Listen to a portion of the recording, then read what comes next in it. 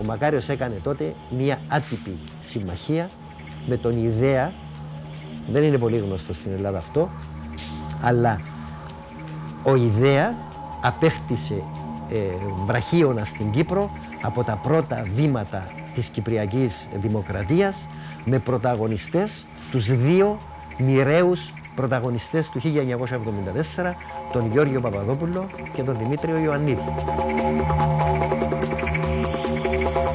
Υποστηρίζετε και γράφετε στο βιβλίο σας ότι ο Γιορκάτσης γνωρίζεται ήδη από το 1960 με τον Γεώργιο Παπαδόπουλο στην προσπάθειά του να ιδρύσει κατά τα ελληνικά πρότυπα την Κεντρική Υπηρεσία Πληροφοριών της Κύπρου, την ΚΙΠ δηλαδή. Η ΚΙΠ Κύπρου είναι ένα αντίγραφο της ΚΙΠ Ελλάδος. Από το όνομα μέχρι τη δομή, μέχρι το τομείς ε, δράσης, ε, τις αποστολές κλπ. Πριν καν ανακηρυχθεί η Κυπριακή Δημοκρατία, δηλαδή υπήρχε ένας χρόνος μεταβατική περίοδος, ο Γιορκάτζης ίδρυσε ένα ιδιωτικό ε, στρατό, να το πούμε, μια ιδιωτική υπηρεσία, μια παρακύπ, η οποία είχε αποστολή να παρακολουθεί κυρίως την αριστερά, το ΑΚΕΛ, διπλωματικούς αντιπρόσωπους ανατολικών χωρών και μετά την ανακήρυξη πρεσβείε, να έχει λεπτομερή καταγραφή και αναφορά το τι γίνεται στην Κύπρο. Και ο Γιορκάρης ήταν τότε σε επαφή με αμερικανικές υπηρεσίες. Να μην ξεχνάμε ότι βρισκόμαστε σε μια περίοδο όπου ο ψυχρός πόλεμος βρίσκεται στο αποκορύφωμά του με ένα ρόλο στην Κύπρο που αποδίδεται πολύ, ένα, αναποδίδεται στην Κύπρο ένας πολύ σημαντικός ε, ρόλος. Οπότε ο Γιορκάτζης και υπάρχει ε, πλέον ε, αρκετό αρχιακό υλικό από τα Αμερικανικά αρχεία που αποδεικνύει ότι ο Γιορκάτζης αποδέχτηκε να διαδραματίσει αυτό το ρόλο με την έγκριση του Μακαρίου, με χρηματοδότηση από τις Ηνωμένες Πολιτείες για να χτίσει ένα μηχανισμό παρακολούθησης στο εσωτερικό της Κύπρου. Αυτός ο μηχανισμός ήταν αντίγραφο του αντίστοιχου που υπήρχε στην Ελλάδα την δεκαετία του 50. Ναι. Λοιπόν, οπότε με την ε, ίδρυση της Κυπριακής Δημοκρατίας με την ανακήρυξη αρχίζει πλέον η προσπάθεια να ιδρυθεί η Κυπριακή ΚΥΠ για να συνεχίσει επίσημα αυτό το ρόλο. Και έρχεται σε ειδική αποστολή επικεφαλής 15 αξιωματικών ο Γιώργος Παπαδόπουλος, ο οποίος υπηρετούσε τότε στην ελληνική ΚΥΠ, στην Κύπρο και βοηθάει τον Γιορκάτσι πώς να ιδρύσουν αυτή την ΚΥΠ, ποιοι θα τη στελεχώσουν και ποια θα είναι η αποστολή τους. Ταυτόχρονα με την Ελδίκ, η οποία έφτασε στην Κύπρο δυνάμει των συμφωνιών Ζηρίχης και Λονδίνου, ήρθαν δύο αποσπάσματα, ένα ελληνικό στρατιωτικό και ένα τουρκικό. Ήταν η Ελδίκ 950 άντρες και η Τουρδίκ, Τούρκοι στρατιώτες, 650 άντρες. Και είναι αυτό που λέμε η συνθήκη εγγύσεως και συμμαχίας μέχρι σήμερα που υπογράφηκε στη Ζηρίχη. Οι αξιωματικοί λοιπόν που στελεχώνανε την Ελδίκ, στο μεγάλη τους πλειονότητα, ήταν ελεγχόμενοι από τον Ιδέα, ο Μακάριος άρχισε να αξιοποιεί αυτές τις σχέσεις με αυτούς τους αξιωματικούς και με τον Παπαδόπουλο Ιορκάτζης για να ανατρέψουν την Ζηρίχη. Και θέλανε να ιδρύσουν και ένα παρακρατικό στρατό, παράνομο στρατό μικρό, σε περίπτωση που θα υπάρξει σύγκρουση με τους Τουρκοκύπριους.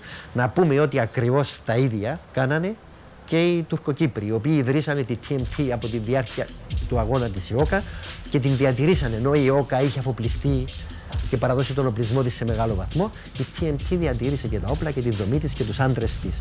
Οπότε, με επιχείρημα το ότι υπάρχει η TMT, ο Γιορκάτζης, ως αρχηγός αυτής της προσπάθειας, αποφάσισε ότι μαζί με τον Μαγάριο να ιδρύσουν ε, τον αντίστοιχο ελληνικό στρατό. Ο Ιορκάτζης λοιπόν έκανε μία αποστολή στην Αθήνα αφού στο μεταξύ είχε μεσολαβήσει μία κρίση στην Κύπρο μεταξύ Ελληνοκυπρίων και Τουρκοκυπρίων για διάφορες διαφωνίες, για φορολογικά ζητήματα κλπ. Κλιμα... Υπήρχε πολιτική ένταση και ο Γιορκάτζης έρχεται στην Αθήνα, ειδικός απεσταλμένος του Μακαρίου και ζητάει από τον Αβέροφ να του στείλει οπλισμό στην Κύπρο διότι του λέει οι Τουρκοκύπροι έχουν όπλα, πρέπει να αποκτήσουμε κι εμείς για την ασφαλειά μας.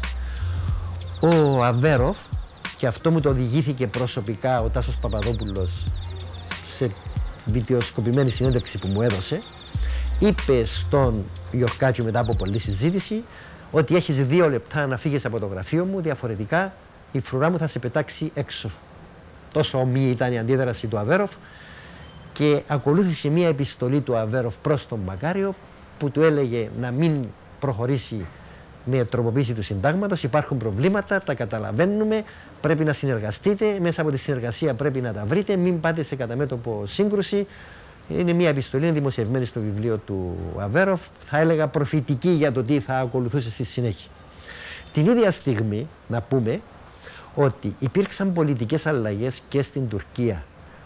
Ε, ε, έγινε το πραξικόπημα, ο απαχωνισμός του Μεντερές, ο οποίος υπέγραψε τις συμφωνίες και ήρθε στην εξουσία ο Ινωνού. Ο Ινωνού τότε θεωρούσε τη TMT στην Κύπρο ότι ήταν παρακλάδι και ήταν του τουρκικού βαθέως κράτους το οποίο υπάρχει από τότε και ταλανίζει την Τουρκία μέχρι τις μέρες μας. Αυτό που γίνεται σήμερα στην Τουρκία το Ερκενεκόν, εάν πας πίσω είναι το ίδιο. Είναι αυτό το ίδιο τμήμα, το ίδιο γραφείο που ίδρυσε από το 1950 τη TMT στην Κύπρο. Ο Ινωνού λοιπόν στην αντιπαράθεσή του με τα κατάλοιπα του Μεντερές προσπάθησε να διαλύσει τη TMT στην Κύπρο, την οποία αποκαλούσε η Γκεστάπο του Μεντερές. Και έχουμε την ιστορική συγκυρία το 1962 να έχουμε δύο κυβερνήσεις για διαφορετικούς λόγους, μία στην Ελλάδα και μία στην Τουρκία, να επιδιώκουν να αφοπλίσουν τους Κυπρίους και να διαλύσουν τις οργανώσεις. Ο Ινωνού απέτυχε να το κάνει αυτό, παταγωδός. Προσπάθησε να διαλύσει την TMT και απέτυχε.